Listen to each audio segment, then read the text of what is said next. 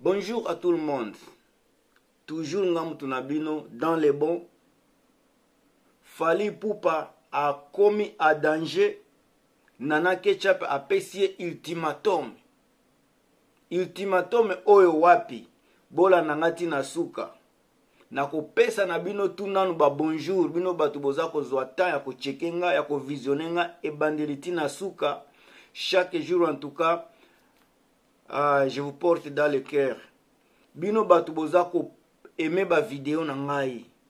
nayebi te soki na remercie bino ndenge nini bino bato boza ko partager bino bato ya sika na, na, na, na chaîne na ngai oyo ya chronique du net tv en tout cas napesi bino bambote ya trop mpe baremerciement mingi bozala na niveau ya europe wana ezala na belgique france suisse uh, finlande turki na nini turki ezalaka poto te uh, banini oyo uh, ba norvège ba irlande ba grande bretagne allemagne wana mobimba ntuka ba luxembourg napesi bino tu bambote merci na makambo oza kosala mpona chaine ya chronique du net soki nano osabone te na niveau wana na niveau ya kote kuna en tout cas bosabone bino bana canada ozala na colombie britannique ottawa montréal toronto quebec bino tu ba winnipeg ba saskatchewan ba alberta mobimba ya bino yango oyo bana états-unis grand monde california caroline na texas bana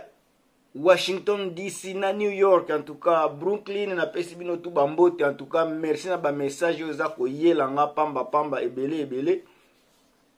afrike mobimba nalingi bino trop napesi bino mpe bambote napesi bino bambote ya trop australie nouvelle zelande boza ya ngai naza ya bino ultimatum oyo fali auti kozwa epai ya mwasi na ye o eh, mwasi na ye entre guillemets na epai ya eh, oyo toza kobengana na ketchup avant nakota na makambo wana parce que oza place ya verité nazongisa bino na place moko boye avant makambo oyo eya na internet eturbie oyo ekota mbutu mbutu ndenge toza koyoka avant tina epupa amema makambo na réseau sociaux toyokaki deja ke nana aza ko, apesi fali pupa ultimatum ya kobala ye soki te akoboya ye qui se souvient na makambo wana ezalaki nango eyaki elimwaki na yango mpo moto azali kokipe yango te bato bakipe makambo oyo mpo eyaki na réseau sociaux na ndenge ya, ko, ya lukuta makambo ata tina epupa ye moko ye moko amemaki yango ezalaki na amplere te toyokaki nani, nani mukolo, mukolo, mukolo youtube mikolo oyo nzambe ya youtube ya mikolo oyo sara tola alo azali kopekisa bato bo bokitisa moto boboma moto makambo oyo bana baza na kati bokitisa moto ere baye kokɔta na nini na lokuta oyo ya kobomisa ya ko ya ko ya koincriminalize niki menga nde esika probleme nyonso e bato babandi kolobela makambo yango apartir ya lokuta oyo ekotaki mpo na kodiabolize niki menga sika lelo soki boza komona fali aza mpenza na aza mpenza na shwa lisusu te azokoka makambo akosala te soki boyoki lelo alobi azwi nini oyo azwi conge na niveau ya miziki azwi pose na niveau ya miziki bino bato boza koprendre te c'est parce que ye na ndako ye na nana ketchup ezosimba te parce que nana ketchup aza na posa ya, ya mariage moyen mpe fali pupa asala mariage eza te parce que na niveau ya poto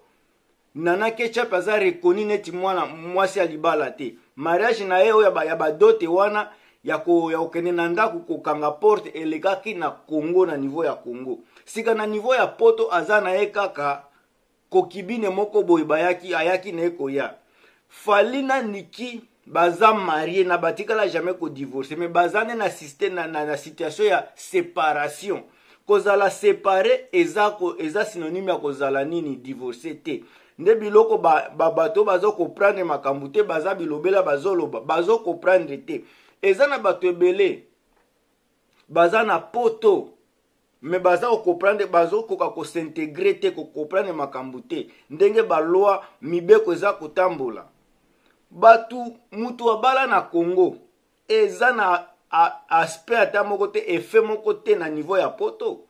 libala ya afrike eza ya afrike na niveau ya poto eza ndenge mosusu soki nano boke na mairie te boke na, na leta te kosala kokoma bapapie wana ya mariage mariage na yo eza nile Par contre Nicky Menga aza reconnu légalement marié na, na nani epa afali yango sika boza komona nana ketchup azolinga arécupere place wana nana ketchup aza, aza na posa arécupere arécupere kiti ya bokonzi azwa yango mpo mikolo eleki mingi mikolo ekomi ebele fali sika ye mpe alingaka nana kecha mpe bikela oyo basalaki bas, banini bave ba, ba oyo basala na, na, na niki menga mwaye eza te ekomi mpasi fali pupa alobela mpenza niki menga ke lelo divorce fo esalema azokoka te paske alingi niki menga makasi basala bave oyo oyo akobuka mibeko wana ekomema ye ntango mosusu na nini na lilita yango fali mpe aza kobanga azokoka te bozokoka ba verite nana ketchup aza na posa bamarie ye babala ye mpo ye azwa bomengo ya fali bomengo ya fali fa, nekimenga na, nana ketchup aza nango posa sika ye aza femme illegale aza legale te yango sika eza kopusa mpena esala makambo esala presio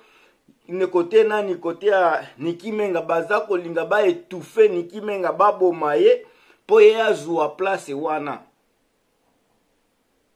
c'est ça la verite verite mosusu eza te tokokende na gauche tokozonga na droite verite yango wana makambo oyo mpe elingaki ebima te soki bato oyo baza koloba soit batime ya nani ya nana ketchup soki bafandaka kimia nde tokomi na situation oyo te me telemake balingaki kaka konini kobebisa reputation kobebisa image ya niki menga baya na lukuta balobake badivorsa kala banani basala soki nini makambo eza ebele ebele bo, yango bomona bomonaki bato nyonso oyo bazali kosupporte nana kechap bazokoka lisusu kosala balive te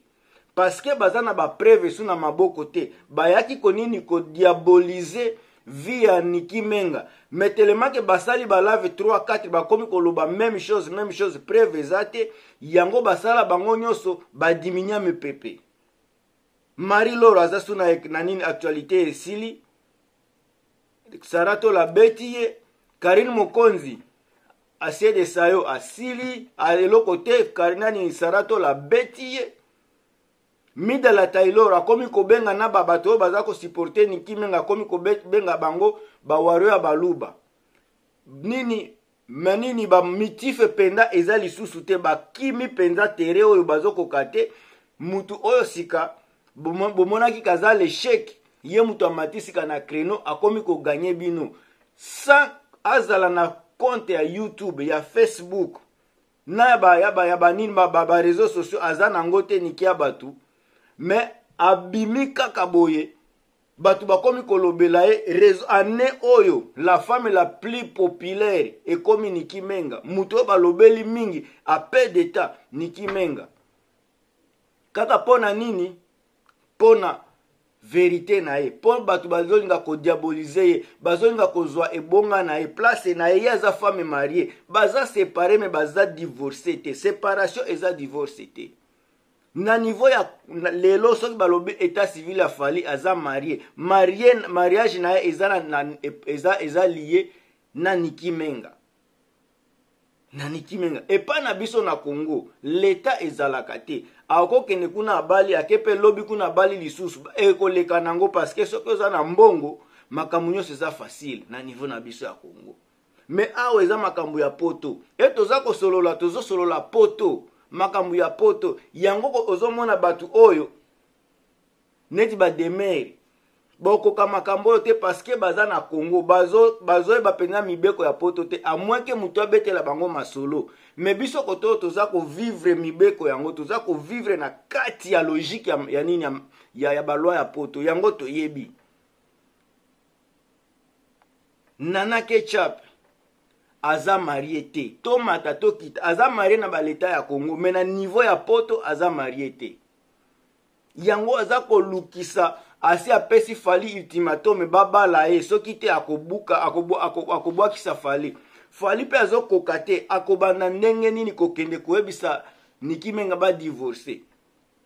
affectation wana soki alobi boye ekoaffecte bana ye moko ayebi ke ekoaffecte bana yango azokoka mpe te azokoka te akobanda ndenge nini akobanda boni banzembo toyoka ba diabolos eza nini eza, eza neti ezalaki neti prophesie lelo tokomi koyoka yango ondire mpena eloko moko ya logike baverite yango wana ngai nalobaki soki nasali analyse nakosalaka analyse ya normal ya logique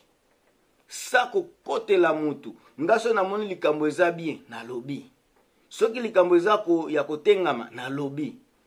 lobi nalobaki erreur ezalaki par bango nyonso baza baresponsable ya makambo oyo nyonso me lelo nabimeli bino na eloko oyo eza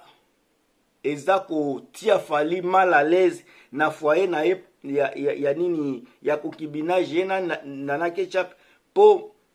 balingi baboya ye soki mariage esalemi te yango sika embouteillage eza ekomi mingi ekomi, ekomi mingi eza embriema en tout cas ngai nasalaka bavideo ya milai milai te mpo na ngai deja namoni ke minute oyo ekoki eloko na kosenga na bino toujours bosabone bo partager ba video eza gratuit pe bo commenter soki suggestion ya mabe eloko ya bien ezali bo suggere toujours na ba commentaire nazalaka toujours bienvenu ya kotanga ba commentaire nyonso en tout cas nakosukela awa bonne continuité, continuité et à plus